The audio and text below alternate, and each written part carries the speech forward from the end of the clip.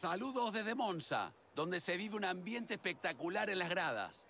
Y está todo listo para ver a pilotos de clase mundial luchar por el primer puesto. Es hora de Gran Premio de Italia.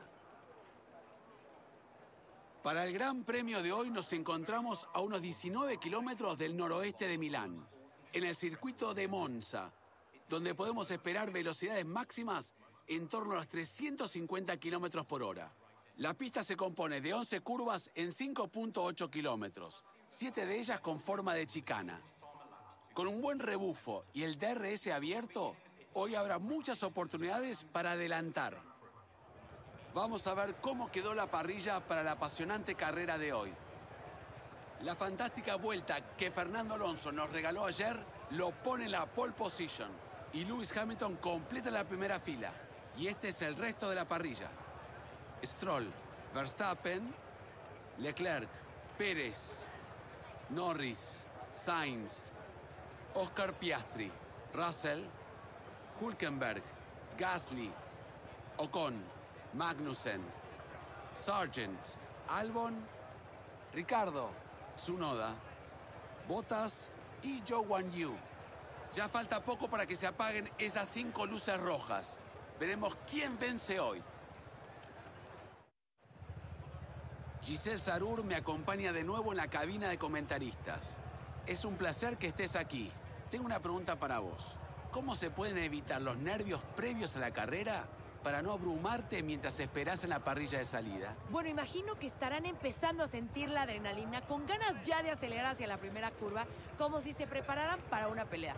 Esta situación desconocida te llena de nervios, pero eso es bueno. Así se concentrarán en el momento y en lo que les rodea según nos acercamos al comienzo del Gran Premio.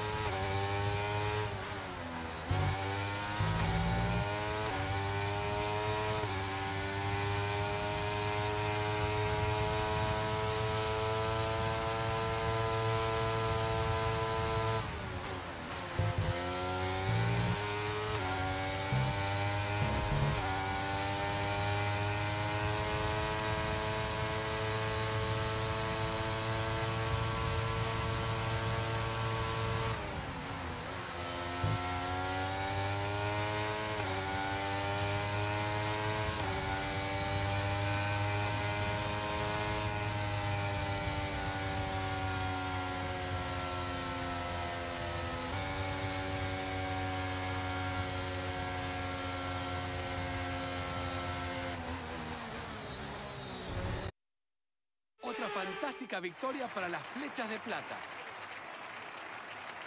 Decime, Giselle, ¿cómo consiguió ganar hoy? A ver, ya sé que es una respuesta aburrida, pero la verdad es que hoy simplemente fue el equipo más rápido y supo aprovecharlo. Puedes pasar el tiempo que quieras mirando estadísticas y planeando estrategias, pero si la persona al volante no puede seguir el ritmo, en fin, el equipo ganador de hoy supo hacer ambas cosas. Veo que ya se acercan al podio para celebrar la victoria.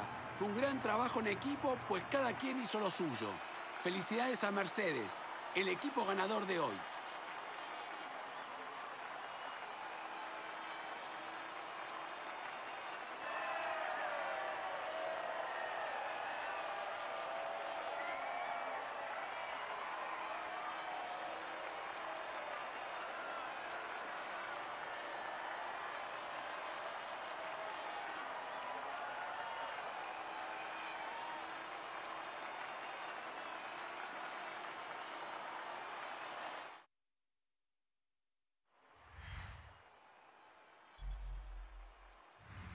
Vimos actuaciones sensacionales en la pista, Giselle, pero ¿quién consideras que tuvo la mejor actuación? Yo me quedo con Lewis Hamilton. A estas alturas tal vez sea algo aburrido elegir varias veces al campeón del mundo, pero no se puede negar su habilidad al volante y merecida reputación.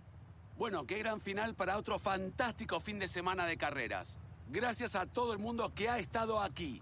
Nos vemos en la próxima.